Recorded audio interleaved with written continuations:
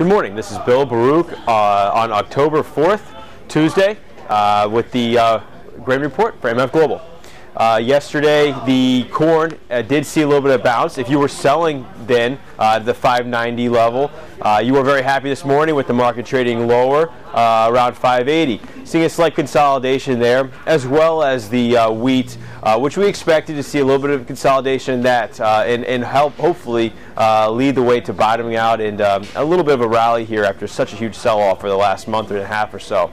Uh, beans, no new news there. It's just really uh, new lo- uh, putting and testing the new lows. Um, and this morning as well, the dollar is putting pressure on the grains. It has moved to 80.43 high overnight, uh, closing above 80 yesterday uh, and following through. Um, it's trading a little bit off the highs uh, as well. The uh, stock market last night uh, putting in lows, testing the early August lows down uh, at the 1070 level uh, seeing a little bit of a, of a, bounce here through this morning uh, could lead to some more support in the, in the grains.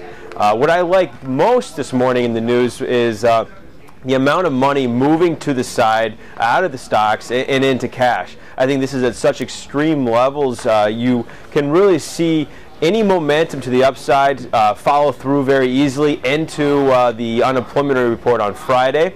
the weather this week uh, affecting the grains is actually supposed to be very good. One of the few uh, times we, we uh, are expecting consistent weather, um, but again, one of the few times. So does this stay consistent? Uh, it, it, allows harvesting in the corn to continue uh, and, uh, through there about 70s this week and, and through 60s. sun, not too much rain expected.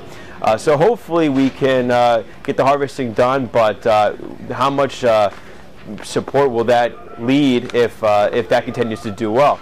Um, so if you want to discuss any of these markets a little more particularly, uh, including the grains or even the stocks, uh, please call me at 1-866-790-4371. Remember, as always, uh, futures trading involves substantial risk. It is not suitable for everybody. Thanks.